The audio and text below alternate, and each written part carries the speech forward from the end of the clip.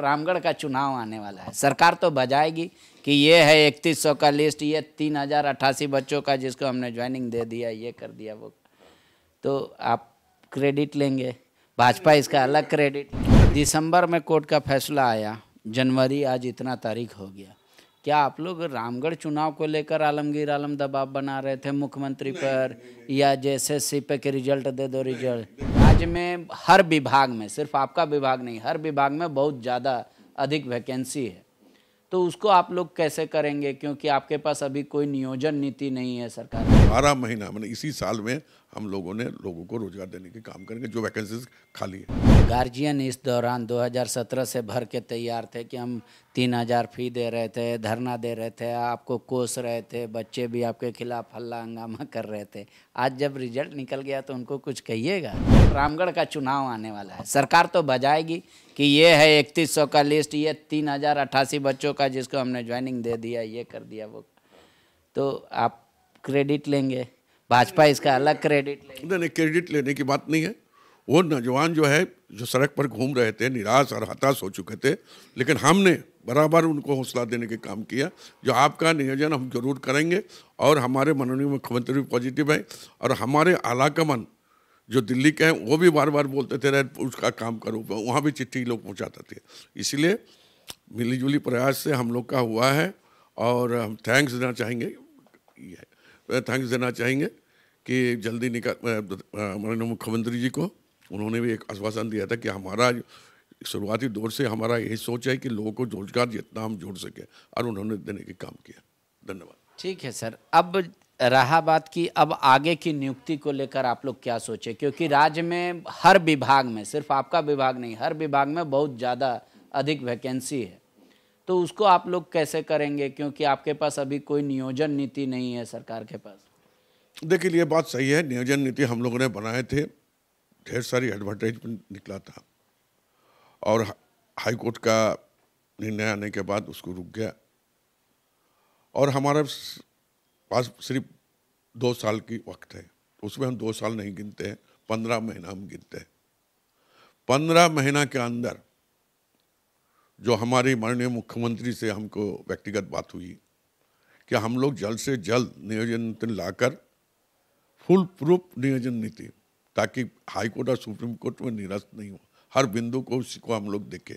और ये बारह महीना मैंने इसी साल में हम लोगों ने लोगों को रोज़गार देने के काम करेंगे जो वैकेंसीज खाली है। तो कितना कोई आंकड़ा बता सकते हैं? पाँच लाख का वादा करके आए थे वह विपक्ष कहती है। समय समय ही बताएगा। निश्चित तौर पर पहले तो टारगेट तो होगा आपका कि हम इतना बच्चों को नौकरी देंगे सरकार। देखिए हम एक टारगेट एकदम हम आपको एकदम एग्जिट तो नहीं बताएँगे लेकिन मैक्सिमम लोगों को जो विभाग में अभी भी रिक्तियाँ हैं उसको लेंगे। कुछ लोग जो हैं पहले से कार्यरत हैं बारह साल अठारह साल बीस साल हो गया उसका भी आज तक परमानेंट नहीं हो उस पर भी विचार हम लोग कर रहे हैं। तो हर तबके से कराकर देखिए अच्छा लोगों को नियोजन मिलेगा। और इसी साल 2023 मार्च तक जाने नहीं देंगे उसके पहले हम लोग करेंगे। मतलब नया नियोजन नीति ले आ देंगे। मेरे एक ये सवाल है आखिरी सर। दिसंबर में कोर्ट का फैसला आया जनवरी आज इतना तारीख हो गया। क्या आप लोग रामगढ़ चुनाव को लेकर आलमगीर आलम दबाव बना रहे थे मुख्यमंत्री पर या जैसे पे के रिज़ल्ट दे दो रिज़ल्ट? दबाव का राजनीति आलमगीर आलम नहीं किया है। और हम चाहते हैं कि उन बच्चे जो हमारे पास आते हैं बार बार विभाग मेरा है, होता है तो कार्मिक विभाग से, लोग सोचता है कि ग्रामीण विकास ही करेगा। उनके चेहरा पर जो देखते थे, मुझे काफ़ी दीख, दुख और तकलीफ़ होती थी। और हम हमेशा कहते हैं, मेरा एक ही उद्देश्य है कि हर चेहरा पर हम मुस्कान देखना चाहते हैं। आज उनका नियोजन का फैसला हो चुका है, अब उनको अपॉइंटमेंट लेटर मिलेगा, उनको जो खुशी होगा, हमारा दिल को तसली मिलेगा। और आलमगीर आलम कभी भी प्रेशर पॉलिटिक्स नहीं किया, नए के पक्ष में हमेशा खड़ा रहकर नए देने का काम किया है। और आज भी हम चाहते हैं, जो नौजवान आज भी सड़क पर घूम रहे हैं, जो नियोजन नीति होने के कारण उन लोगों को समायोजन नहीं कर पाए हम लोग, वैसे लोगों को, वैसे नौजवानों को समायोजन करने की हम कोशिश करेंगे। जो गार्जियन इस दौरान 2017 से भर के तैयार थे कि हम तीन हज़ार फ़ी दे रहे थे, धरना दे रहे थे, आपको कोस रहे थे, बच्चे भी आपके खिलाफ हल्ला हंगामा कर रहे थे। आज जब रिज़ल्ट निकल गया तो उनको कुछ कहिएगा? जो आप बस इतना ही हम कहना चाहेंगे। जो आपका, जिन बच्चों का एवरम लेटर जा रहा है, उसके उज्जवल भविष्य के कामना हम करते हैं। और यही कहते हैं कि आपके जो काम, जो दायित्व दिया जाएगा, वो शत प्रतिशत निष्ठापूर्वक आप निर्वहन करें, ताकि इस क्षेत्र का विकास भी हो। लोगों को लगे कि नौजवान आए हैं और नए तरीके से काम करके इस देश को आगे ले जाने के काम कीजिएगा। यही हमारे लिए सबसे बड़ी खुशी की बात होगी कि नौजवान गए और अच्छा काम कर रहे हैं और निष्ठा के साथ काम कर रहे हैं, नियम के अनुसार काम कर रहे हैं तो मुझे खुशी लगी। शुक्रिया।